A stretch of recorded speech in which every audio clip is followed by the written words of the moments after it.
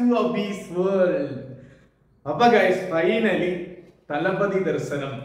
Leo കണ്ടു കഴിഞ്ഞിരിക്കുകയാണ് guys അപ്പൊ ലിയോ. ലിയോയുടെ സ്റ്റോറിനെ കുറിച്ചൊന്നും ഞാൻ പറയുന്നില്ല അവിടെ സ്പോയിലർ ഒന്നും ഞാനിടില്ല. കാരണം എല്ലാ എത്ര പേര് ഇതിന് കാത്തിരിക്കുന്നെന്ന് എനിക്കറിയാം. പിന്നെ തമിഴ്നാട്ടിലൊന്നും ഇപ്പോഴും ഫാൻസ് റൺ ആയിക്കൊണ്ടിരിക്കുന്നില്ല. അല്ല ഫാൻസ് റൺ ആവാൻ പോകുന്നേ ഉള്ളൂ. അതുകൊണ്ട് സ്പോയിലർ ഒന്നുമില്ല.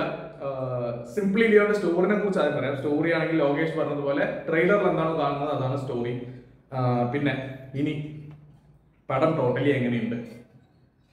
നിങ്ങളൊരു വിജയ് ഫാൻ ആണെങ്കിൽ തിയേറ്ററിനുള്ളിൽ ലോകേഷ് നിങ്ങൾക്ക് ഒരു ട്രീറ്റ് ഒരുക്കി വെച്ചിട്ടുണ്ട്. മാസ് മാത്രം പ്രതീക്ഷിച്ച് അങ്ങനെ ഒരു ട്രീറ്റ് അല്ല. Vijay Thalapathy as a performer നിങ്ങൾ ഈ സിനിമയിൽ കാണും.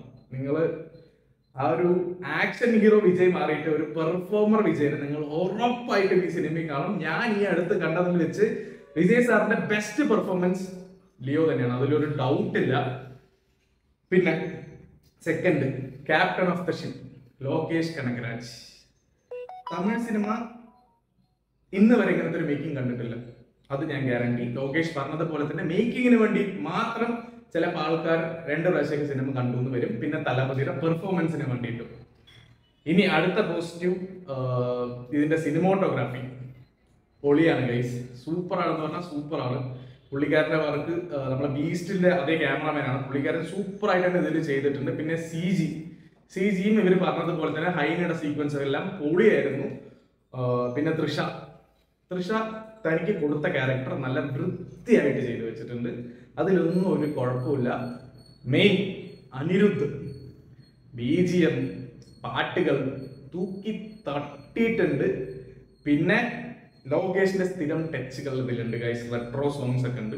അതെല്ലാം പൊളിയാണ്. തിയേറ്ററിൽ നിങ്ങൾക്ക് എൻജോയ് ചെയ്യാൻ പറ്റുന്ന എല്ലാം നടത്തിലുണ്ട് ഇനി ഇതിന്റെ ഫസ്റ്റ് ഹാഫ് ഫസ്റ്റ് ഹാഫ് എങ്ങനെയാണെന്ന് വെച്ചാൽ കുറച്ച് സ്ലോ ആയിട്ട് സ്റ്റാർട്ട് ആവും. പിന്നെ അത് അങ്ങനെ ക്യാരി ചെയ്ത് ക്യാരി ചെയ്ത് ക്യാരി ചെയ്ത് ക്യാരി ചെയ്ത് കൊണ്ടുപോകും. നമുക്ക് ഒരു ഹൈ തന്നിട്ട് കുറച്ച് സ്ലോ ആക്കി ഹൈ തന്നിട്ട് കുറച്ച് സ്ലോ ആക്കി അങ്ങനെ പോയിട്ട് ഇന്റർവെൽ സൂപ്പർ ആയിട്ട് മേക്ക് ചെയ്ത് നിർത്തിയിട്ടുണ്ട്.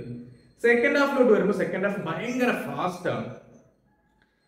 ഇതിലെന്താണ് ഇനി കുഴപ്പം? ശരി കുഴപ്പത്തിന് മുമ്പ് ഇതിൽ കുറച്ച് പേരുടെ കൂടെ പേര് പറയാനുണ്ട്. ഗൗതം മേനോൻ. സാൻഡി. സാൻഡി നന്നായിട്ട് തന്നെ ഒരു സൈക്കോ ക്യാരക്ടർ നല്ലപോലെ തന്നെ ക്യാരി ചെയ്തിട്ടുണ്ട്. അതുപോലെ തന്നെ മിഷ്കിന്റെ കുറച്ച് ചെറിയൊരു റോളാണ്. അർജുൻ ആൻഡ് സഞ്ജയ് ദത്ത്. രണ്ടുപേരും ക്യാരക്ടറിൽ ഐ മീൻ നമുക്ക് കാണുമ്പോൾ സ്ക്രീനിൽ കാണുമ്പോൾ പെട്ട വില്ലന്മാരാണ് ഓക്കെ നമുക്ക് കാണുമ്പോൾ തന്നെ നമുക്ക് ഓക്കെ ഇതൊരു വില്ലനാണെന്നാ തോന്നുന്നത് പോലെ അങ്ങനെ ഒരു ബിൽഡപ്പ് അവർ കൊടുത്തിട്ടാണ് ഈ വില്ലൻ ക്യാരക്ടേഴ്സിനുള്ളിൽ കൊണ്ടുവന്നിരിക്കുന്നത്. ഇനി പടത്തിന്റെ പ്രശ്നം. പടത്തിൽ എന്തെങ്കിലും പ്രശ്നം ഉണ്ടോ എന്ന് ചോദിച്ചാൽ എനിക്ക് ഇതിൽ ആകെ രണ്ടേ രണ്ട് പ്രശ്നമേ തോന്നിയുള്ളൂ. ഒന്ന് ഇതിൽ വരുന്ന ഫ്ലാഷ് ബാക്ക് അത് വിചാരിച്ച അത്ര അത്രയ്ക്ക് അങ്ങോട്ട് വന്നില്ല. കാരണം ആ ലിയോ എന്നുള്ള ഒരു ക്യാരക്ടറിന്റെ ഫ്ലാഷ് ബാക്ക് കാണിക്കുമ്പോൾ ഞാൻ എക്സ്പെക്ട് ചെയ്തത് കുറച്ചും കൂടെ എന്താ പറയാ നമ്മൾ ആ ഒരു നൊട്ടോറിയസ് ആയിട്ടുള്ള ഒരാളിനെയാണ് കാണിക്കുന്നത്. അത് നമ്മൾ കുറച്ചും കൂടെ ഞാൻ പ്രതീക്ഷിച്ചു അത്രയ്ക്ക് അങ്ങോട്ട് ലിയോനെ കിട്ടിയില്ല. ആ ഒരു ഫ്ലാഷ് ബാക്ക് കിട്ടിയില്ല സോറി ലിയോനെ കിട്ടിയില്ല ഫ്ലാഷ് ബാക്ക് കിട്ടിയില്ല. പിന്നെ ഇതിലെ വില്ലന്മാർ അർജുൻ ആയിക്കോട്ടെ എന്ത് സഞ്ജയ് ദത്ത് ആയിക്കോട്ടെ. ഇവർ രണ്ടുപേരുടെ ക്യാരക്ടറും അർജുനന് പിന്നെയും റോളുണ്ട് പിന്നെയും കുറച്ചുകൂടി ബെറ്റർ ആണ്. പക്ഷെ സഞ്ജയ് ദത്തിന്റെ ക്യാരക്ടർ കുറച്ച് വീക്ക് ആയ പോലെ എനിക്ക് തോന്നി. അത് എന്റെ മാത്രം തോന്നലാണെന്ന് എനിക്കറിയില്ല പക്ഷെ എനിക്കത് തോന്നി. ഇത് രണ്ടും മാത്രമേ എനിക്ക് പടത്തിൽ പ്രശ്നമായിട്ട് തോന്നിയിട്ടുള്ളൂ. ഗൈസ് ബാക്കി ഇനി ആരെന്ത് പറഞ്ഞാലും എനിക്കൊരു പ്രശ്നമല്ല. പടം ഹൺഡ്രഡ് പെർസെന്റ് ഞാൻ ഇത്ര എന്റർടൈനർ ആണ്. പക്ഷെ എല്ലാവർക്കും ഇഷ്ടപ്പെടുമെന്ന് വെച്ചാൽ see kids and family audience maybe കാരണം എന്റെ ഒരു അഭിപ്രായ പ്രകാരം ഒരു എ സർട്ടിഫിക്കറ്റ് കിട്ടുന്ന പടത്തിന് യു എ ആണ് കിട്ടിയിരിക്കുന്നത്. കുറച്ച് കില്ലിംഗ് സീൻസും അങ്ങനെയുള്ള സംഭവങ്ങളൊക്കെ ഉണ്ട്. അപ്പോൾ കിഡ്സിനൊക്കെ പെട്ടെന്ന് ഇഷ്ടപ്പെടുമെന്ന് അറിയില്ല അത് മാത്രമേ ഒരു പ്രശ്നമുള്ളൂ. ഫാൻസിന് ഇതൊരു ഗംഭീര ട്രീറ്റ് ആണ് ലോകേഷ് വെച്ചിരിക്കുന്നത് വിജയ് സാറിന്റെ എന്താ പറയുക താണ്ഡവം. അത്രയേ ഉള്ളൂ.